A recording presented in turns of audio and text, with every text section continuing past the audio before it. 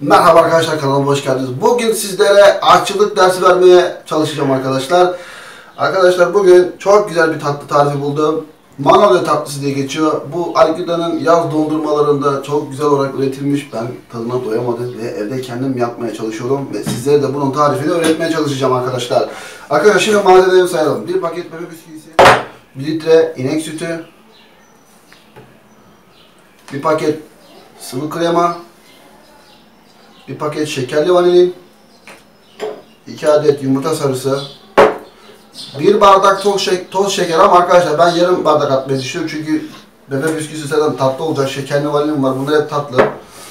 2 kaşık un, 1 kaşık mısır nişastası ve gerektiğince çilek arkadaşlar. Ben büyük borcama yapmayı düşünüyorum. İsterseniz bunu bardakların içine doldurarak da yaparsınız. Ama benim tercihim büyük bir tabak, Evet büyük bir şey. Şimdi yapılışına geçelim. Arkadaşlar bir tenceremizi alalım. İnek sütümüzü komple boşaltalım abi. Hepsini boşalt, boşalt, boşalt.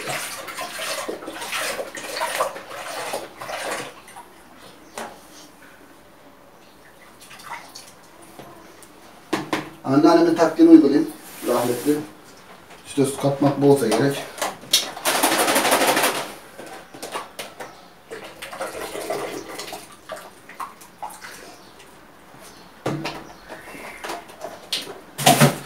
Evet arkadaşlar.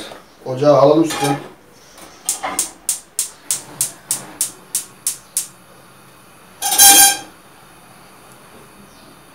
Evet abi. Şekerimizi atalım. Mısır nişastasını atalım.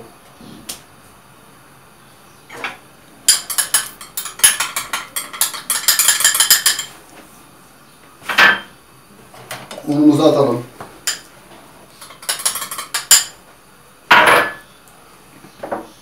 Yumurtalarımızı atalım. Arkadaşlar bütün malzemeyi hepsini atıyoruz. Şekerli vanilimizi de atalım arkadaşlar.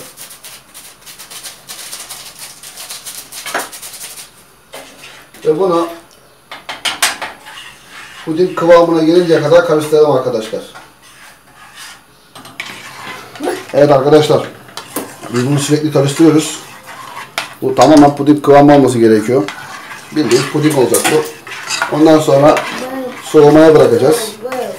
Ee, ortalama oda sıcaklığına gelene kadar, o ilk hararet çıkana kadar biraz beklemesi gerekiyor. Ee, sıvı kremasını katacağız. Sıvı kremasını kattıktan sonra sağlam bir şekilde mikserle bayağı bir çırpacağız arkadaşlar. Ben şimdi gene videomu durdurayım. Ara ara yine çekeceğim. Videomuz, videomuz uzamasın.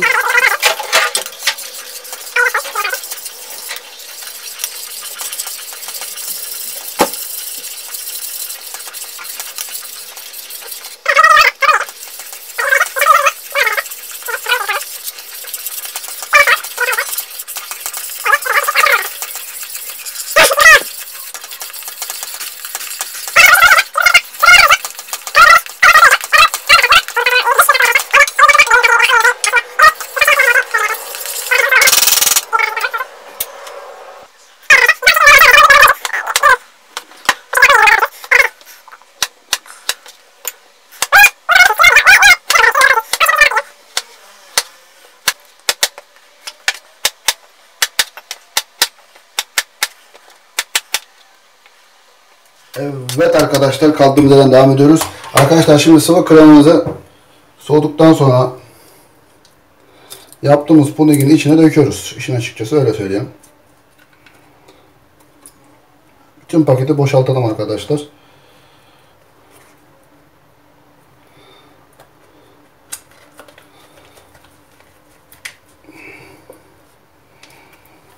Evet.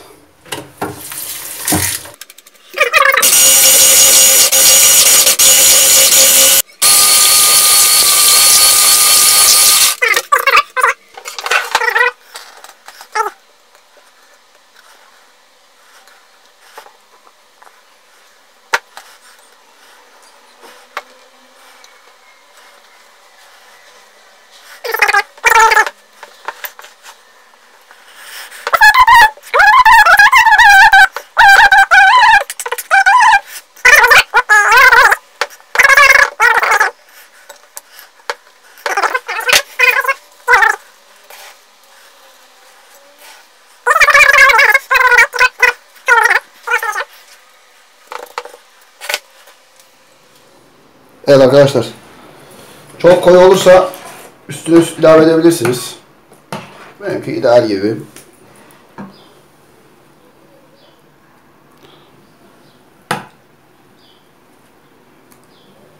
Arkadaşlar ben hani bir kase çilek dedim tarifte ama eee, siz bardakla yaparsanız size anca yeter. Mesela ben borcamda yaptığım için bana yetmeyecek gibi. Hatta ben bir kilo çilek kullanıyorum şu an tarif olarak. Ona dikkat edersiniz arkadaşlar. E, yavaşça yayalım arkadaşlar. Ben kenarlarına çilek koyacağım demiştim ama çileğim yetmeyeceğinden dolayı koymayacağım herhalde. Normalde bu bardak tatlısı aslında. Bardağa dizilmesi gerekiyor. Ama ben bardakla uğraşmak istemedim işin açıkçası.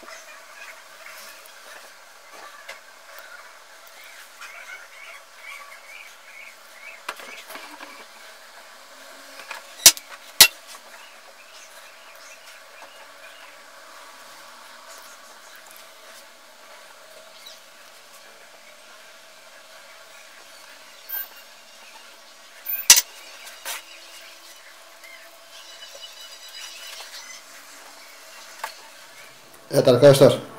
Tatlımız hazır. Ama son bir dokunuş yapacağım. Onu size özel göstermem lazım. Evet arkadaşlar en önemli atış şeklini gösteriyorum size. Bunu atmadan bu tadı alamazsınız. Bu hareketi atmadan tadı alamazsınız.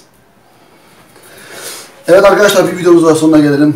Görmüş olduğunuz gibi tatlımızı yaptık. Enfes gözüküyoruz. Ve bunu soğutmaya bırakacağız. Güzel bir soğuduktan sonra yerken de videosunu çekeceğim size.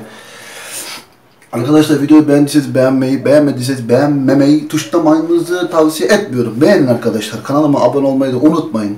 Hepinizi Allah'a emanet Evet arkadaşlar tatlımız soğudu. Şu an dayanamıyorum. Dalacağım. Tabağa koyma olayı biraz zor olur arkadaşlar. Buna tabağa koyamazsınız. Aynen bak böyle yapıyorsunuz direkt. Bak bak. Bak. Dökülüyor arkadaşlar ama bir, de, bir saniye bak bak. Bak bak bak. Heh. Hmm.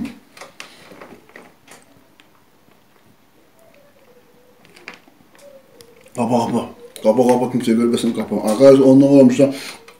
Şekeri falan on numara olmuş arkadaşlar.